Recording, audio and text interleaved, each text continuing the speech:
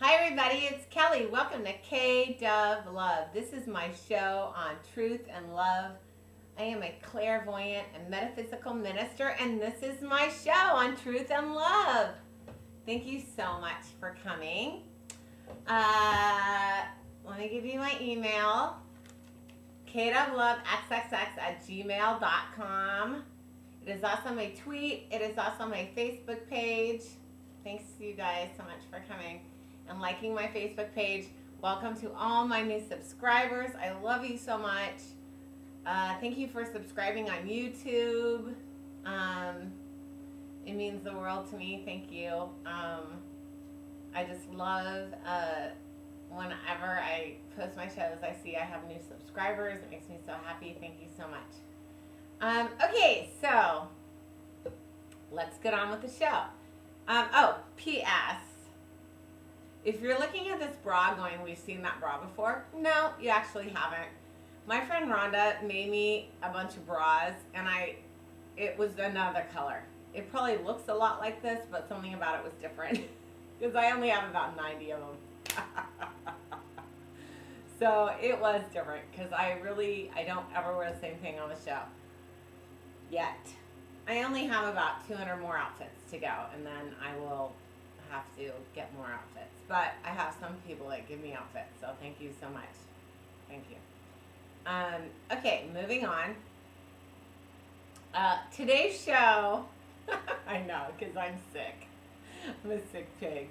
Um, today's show is called Papa, and uh, we are talking about, it's kind of a two-part show, because um, I'll wear another bra from Rhonda in it, um, similar. Um, but uh, it's called Papa, and uh, we're nearing. It's I know you can't tell, but it's winter, and we're nearing the holiday season, and uh, so we're going to talk about gifts and giving, and along with that is another show I'm going to do. So I'll have Papa one and Papa two. Papa. I know. Who do, who wants to be my big daddy? I love it. Uh, Hi, Daddy. Okay, I know, I know. But um, whenever I think about gifts, I think about my daddy, my papa, because there was only one thing I didn't get, which was a baby goat. I wanted this goat, and he's like, "You're not getting a goat." Your mom says no on the goat. I got a duck. My, I know. I was spoiled as spoiled can be. Trust me. I didn't get the goat. But, well, Daddy, I want that goat!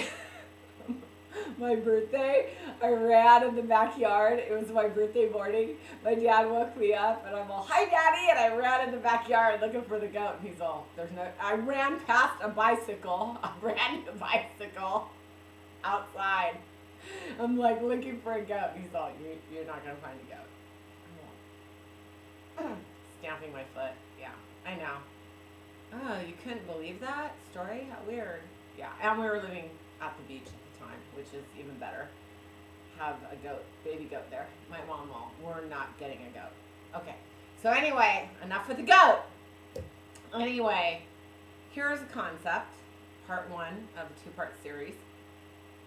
Here's a concept that I want you to think about, and it is nothing I thought of. It is something I read and I went, whoa, it really changed my thought process on it. And it is, we're talking about gifts, and, you know, we're always praying, praying, praying, meditating, asking, asking, asking, asking, and we're constantly giving gifts. And the process, the thought process is don't love all the gifts simply love the giver. Whoa. I'm like, whoa, whoa. And of course, you could do that on this plane with humans. Of course, I, I, I don't even care about the stuff my dad gave me. I care about when we went to the tide pools together, or when he made me laugh. when he'd tell me really messed up stories or you know what I mean? Like with the same personality. So I understand that. But of course, we're speaking of higher source and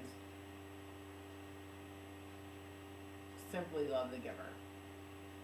Whoa. It really just opened my third eye. Like I just went, whoa. I had to sit there. It was such a big,